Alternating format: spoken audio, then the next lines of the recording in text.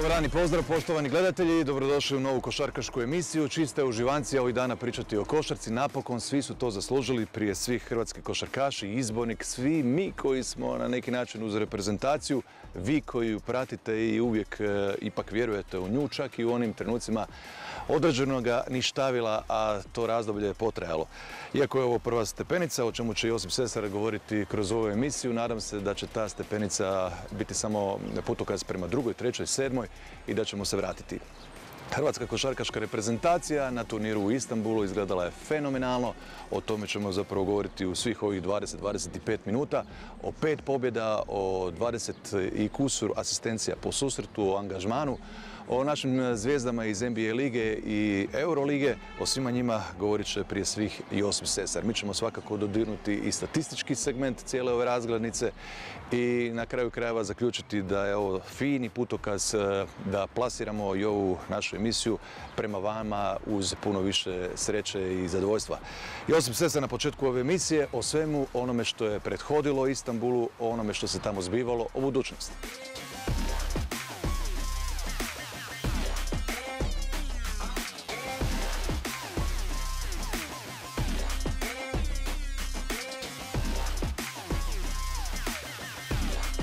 Mislim da smo, da smo odradili ovaj, dobro ljeto što se tiče i ovog prvog dijela ti predkvalifikacija za kvalifikacije za europsko prvenstvo, a, pogotovo ovaj drugi dio gdje su nam se priključila četiri, ovaj, četiri igrača, Šarić, Hezonja, Smith i Zuvac koji su svojom, svojim talentom dali dodatnu kvalitetu toj momčadi i jako dobro se uklopili u cijeli taj zamišljeni sustav i odradili smo fenomenalne te pred, predkvalifikacijski turnir za, za olimpijadu.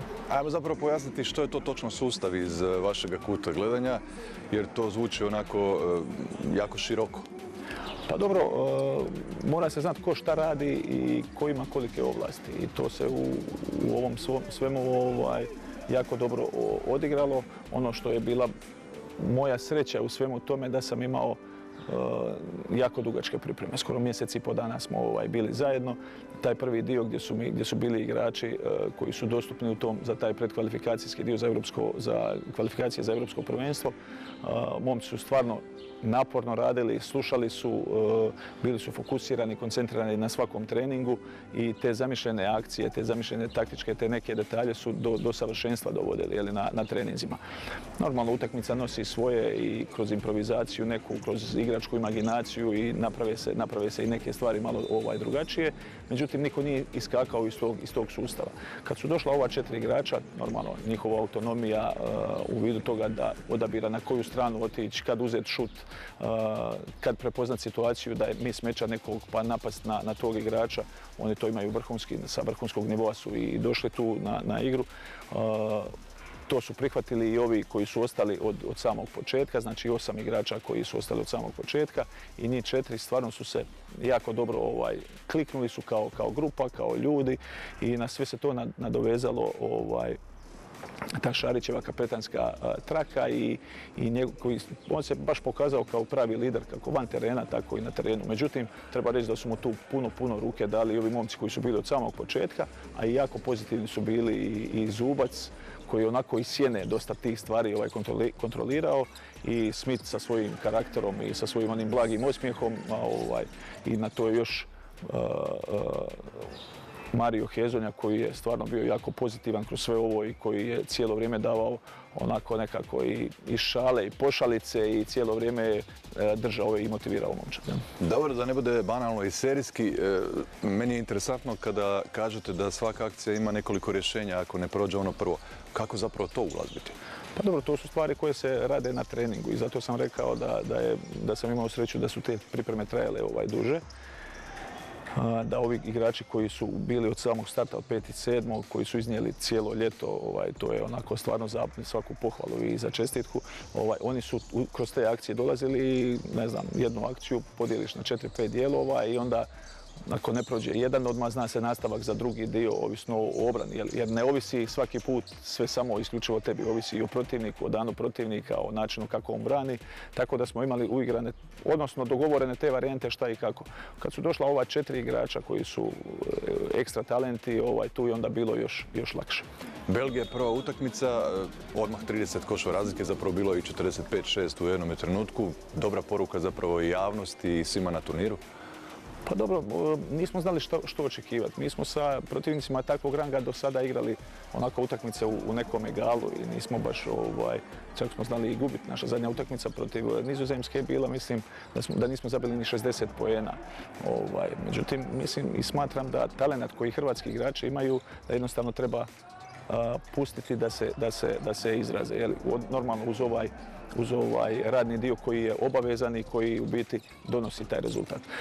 Dolazeći na tu utakmicu stvarno smo se pripremali za sve te momčadi koje su bile na tom turniru, e, tu, ovaj, i ovim putem zahvala mom stožaru koji stvarno su bili fokusirani na to 100%, od e, individualnih karakteristika igrača do akcija šta igraju, kako igraju, pa do toga kako taj trener koji e, vodi pojedinu reprezentaciju, kako on vodi svoje utakmice, na koji način, kako reagira kad je minus, kako kad je u plus su kako kad, kad mijenja i koje, i koje načine obrane radi. Tako da stvarno smo imali onako do detalja smo te stvari ovaj, razrađivali i na kraju se pokazalo ovaj, uspješno i sa tom prvom utakmicom i mi smo kao postali svjesni svoje snage. Jel? Kad dobijete protivnika tako na, na tom nivou, kad budete u 35. minuti 46 razlike, onda si svjestan svog, svoje ovaj, snage i svoje moći.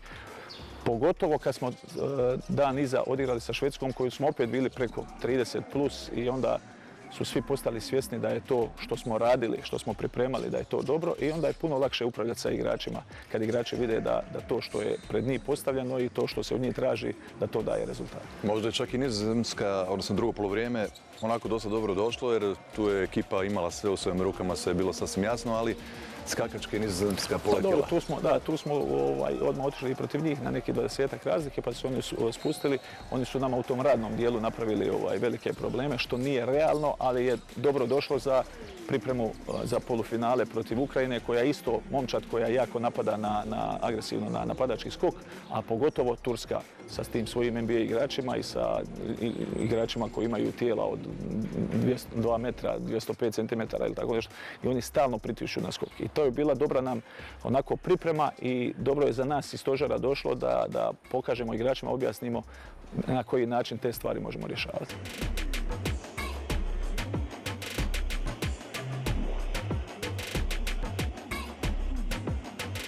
Dolazi Turska, najvažnija utakmica na prvenstvu i odjedanput iz prazne dvorane jedan takav šok ko nije bio u Istanbulu, ne zna što je propustio, to je ludo i čudo.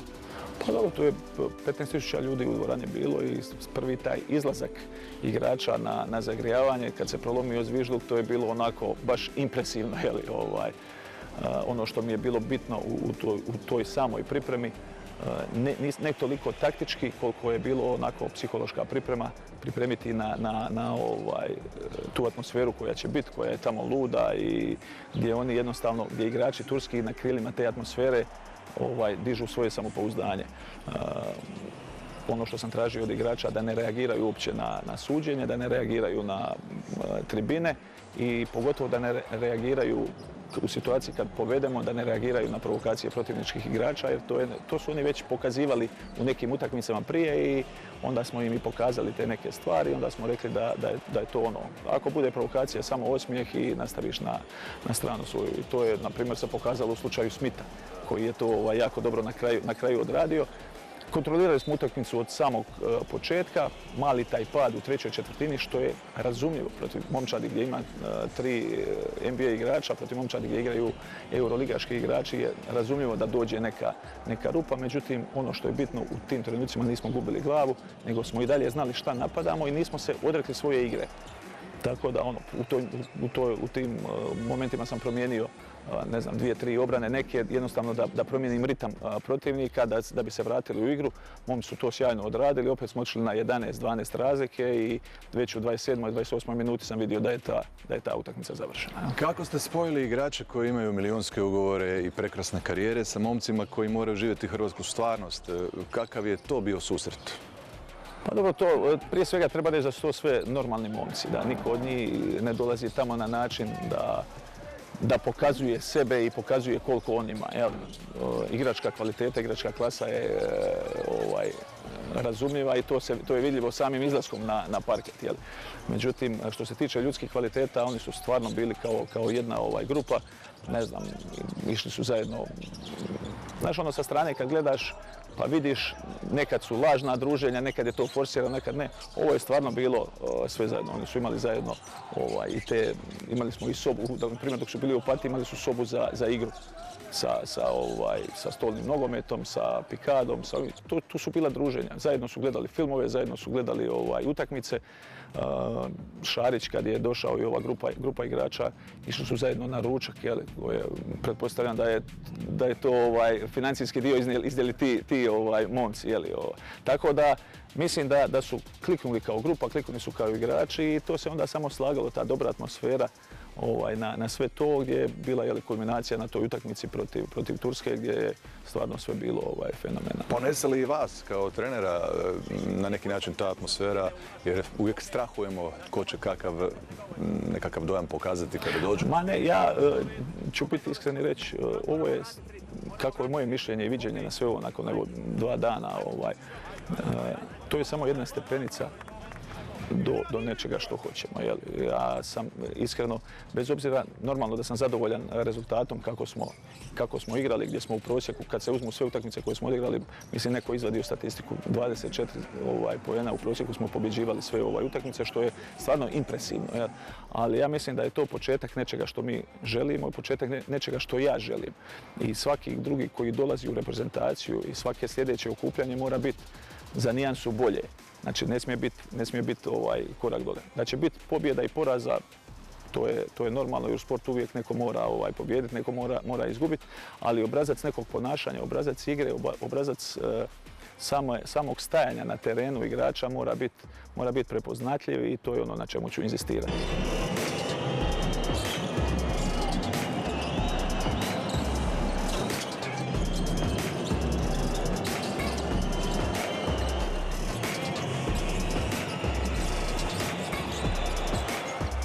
Završno o ovome turniru, što vas više veseli možda ovaj ogroman broj asistencija koji pokazuje fluidnost ili možda ta sjajna defanzivna rola u kojoj se vidi da momci grizu?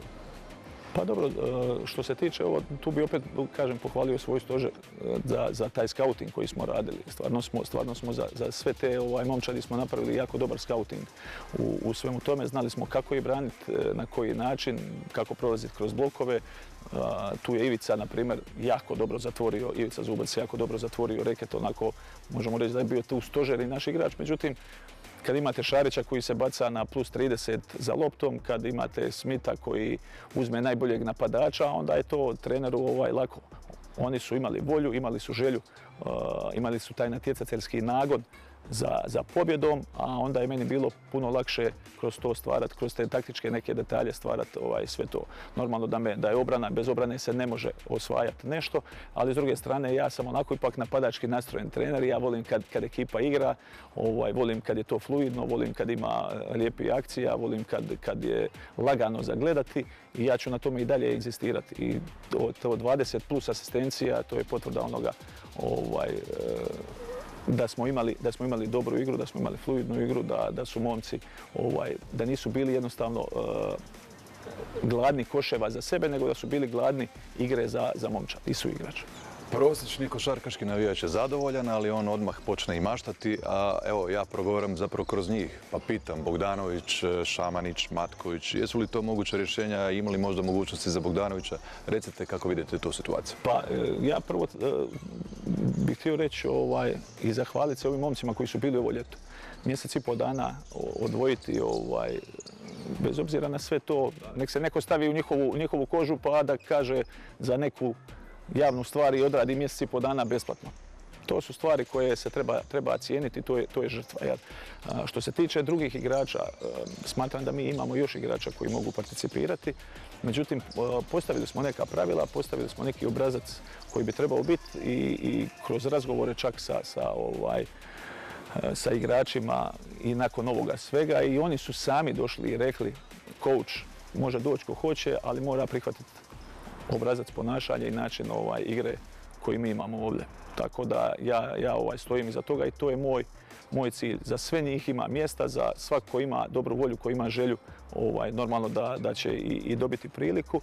Ono što mi je bitno da igrači dolaze čiste glave na, na ovaj, i da dolaze sa voljom tu, jer klub i reprezentacija nisu iste. Može u klubu neko biti glavni igrač, u reprezentaciji možeš biti e, možda pomoćni. Jel? Tako da na taj način svi se trebamo odreći dijela svog nekog ega da bi reprezentacija bila bolja. I kad ovako završi, kad završi sa nekim ovaj, pobjedama, ja sam rekao igračima kad smo polazili odavde, zadnji sastanak, ovaj, kad smo polazili iz Zagreba prema, na ovaj turnir u Istanbulu, ja sam rekao cilj moj kad e, završi gore turnir u Istanbulu, na aerodromu kad, kad budemo se pozdravljali, da se gledamo u oči i da se pozdravimo.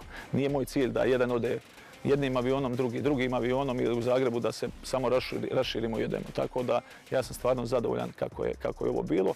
Za sve ima mjesta, vrijeme će pokazati ovaj, šta će biti kako će. Nažalost u kvalifikacijama za Europsko prvenstvo nema za sve mjesta jer neki ne mogu doći iz Amerike. Bez Šarića, bez Zubca, a tako su bili sada sjajni. Plašili vas to?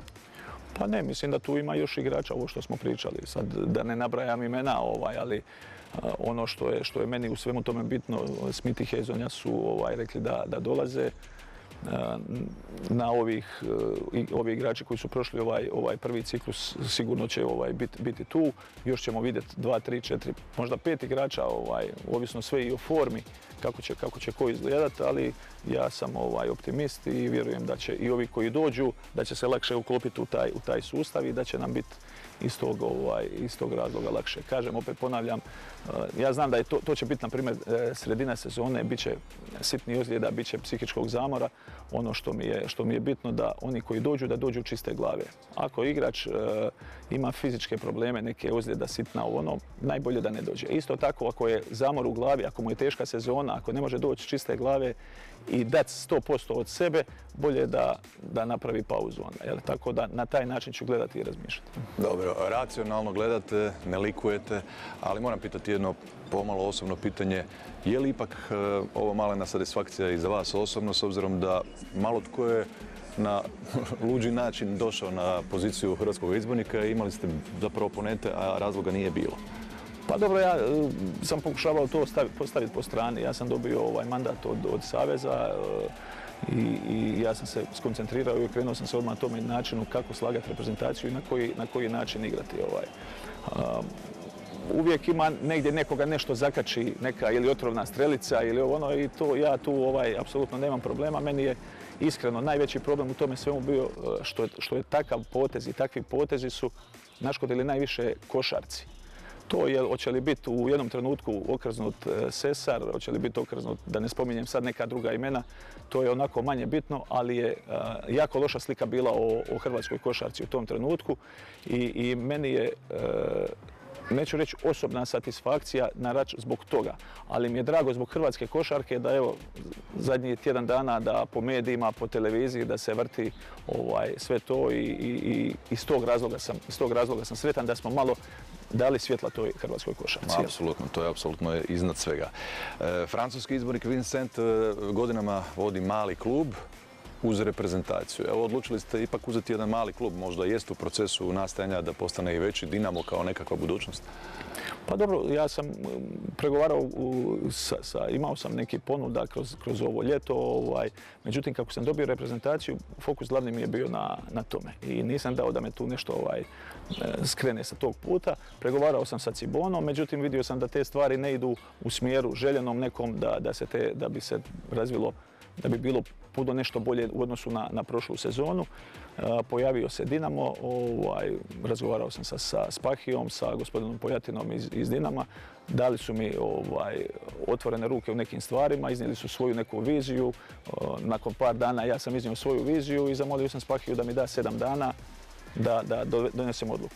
Nakon tih sedam dana u Opatiji smo bili, kad sam vidio koje stvari idu, u kojem smjeru idu, ovaj, odlučio sam se prema, otići prema, prema Dinamo. Mislim da, da nisam pogriješio, to je klub koji je u procesu, u procesu nastajanja, raste iz godine u godinu i nadam se da možemo, ovaj, da možemo napraviti dobar posao. I zadnje pitanje, komunicirat ćemo jako puno ove sezone vezano uz reprezentaciju, taj drugi mjesec donosi e, početak kvalifikacija. Gledao sam Bosnu i Hercegovinu, izgubili su dosta nesretno protiv Poljske, ozbiljna reprezentacija s kojom ćemo se zapravo ponajviše boriti za plasma na Europsko prvenstvo. Ozbiljna reprezentacija, neće im biti, mislim, Nurkića, da. Nurkić i, Luka Karza, ovaj novi njihov ovaj, igrač. Mislim da njih dvojica neće biti tome. To će i dodatno oslabiti jer su dosta tih e, utakmica, gledao sam e, dvije njihove utakmice, dosta tih akcija su bazirali na, upravo na, na njima, na njih dva. Jel? Međutim, neće i ni nama biti ovaj, NBA igrača, tako da bit će, bit će u svakom slučaju zanimljivo. Nezgodna, nezgodna neugodna ovaj, grupa, pogotovo što imate Cipar koji unutra. Od njega ako izgubiš ovaj, utječe na, na sve, a ako pobjediš, nikom ništa, jel, to se kao očekuje. Tako da malo čudan, ovaj, čudan sustav natjecanja, ali tu smo gdje smo. Uh, probat ćemo napraviti najbolje što se može, ne možemo, nećemo niti želim nešto obećavati, idemo iz, iz, iz dana u dan, iz treninga u trening i nadam se najbolje.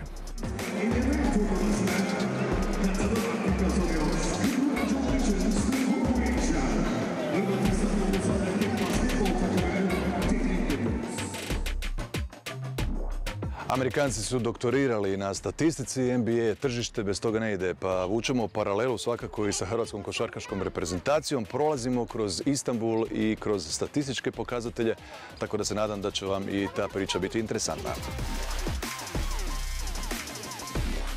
Brojke su impresivne, lakoća igre vidljiva u čak 22 asistencije koliko je prosječno imala hrvatska reprezentacija. Šut za dva iznosio je 65, a za tricu neznatno ispod 40%. Pa i slobodna bacanja prikazuju stabilnost, 80% je odličan podatak. Sesar je cijelu ekipu uspio nahraniti minutama, čak 11 od 12 igrača igralo je više od 8 minuta u prosjeku. Na parketu je najduže boravio Šarić i to 28 minuta, Smith i Zubac imali su po 27, a Hezonja 24 minute prosječno. I učinak naših najboljih igrača bio je sličan, a visokih razina. Dario Šarić je imao 16 koševa, 6 skokova, 5 asistencija i dvije ukradene lopte po susretu. Ivica Zubac pak također 16 pojena, 8 skokova i odlične tri asistencije, ali i dvije blokade prosječno. Gotovo je nevjerojatno kako je i Hezonja prosječno ubacivao 16 koševa uz 5 skokova. Na cijelom turniru Hrvatska je pobjeđivala uvjerljivo, pa je samo Nizozemska uspjela ne izgubiti dvoznamenkastom razlikom, bilo je 89-81. Izrazitu posvećenost, motiv i zajedništvo, riječima je potvrdio i Mario Hezonja.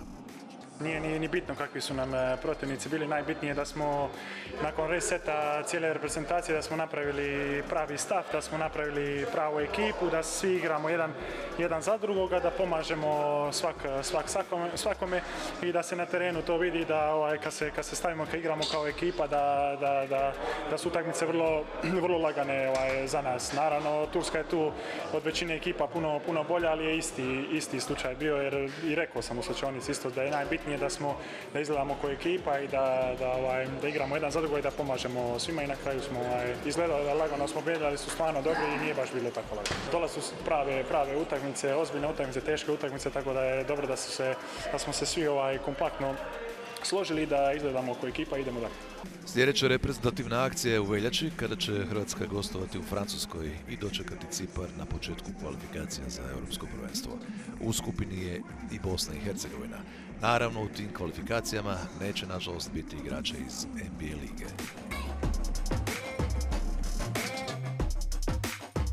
Toliko o istambulskoj epizodi Hrvatske košarkaške reprezentacije. Okrećemo se svjetskom prvenstvu, tu ćemo dobiti protivnike za srpanjski olimpijski, odnosno predolimpijski kvalifikacijski turnir, tako da ćemo e, definitivno sa velikim zadovoljstvom upijati sve ono najbolje što košarka ovoga trenutka nudi.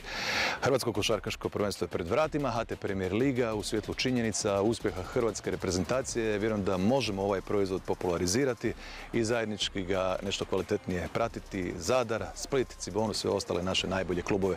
Vidimo se za otprilike mjesec dana u nastavku emisije Hrvatska košarka.